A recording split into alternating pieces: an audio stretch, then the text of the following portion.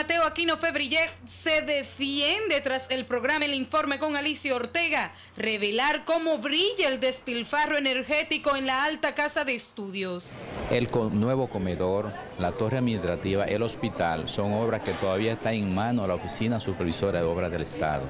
Entre tanto, los estudiantes lamentan que se derroche el dinero cuando a ellos se les ha aumentado los servicios, mientras los diputados critican la situación. Es como más abuso de poder en cuanto a lo que está cometiendo el, rector contra nosotros los estudiantes, que carecemos de mucha precariedad. Que hasta ahora no ha podido haber un acuerdo, un gran acuerdo entre todos los guasdianos y las autoridades para cambiar la cultura misma de la universidad. Y aquí todas las instituciones donde se mueven recursos públicos eh, malgastan el dinero. O sea, es un asunto de cultura.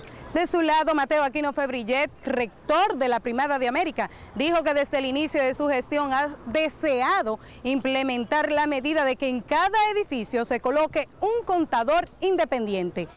Y mientras las luces continúan encendidas también en el día, el rector dijo no tener conocimiento de si el consumo de estas estructuras lo están cargando a la factura de la universidad. Tengo que verificar si ya, si ya se incorporó al circuito. Paola Ledesma Noticias, SIN.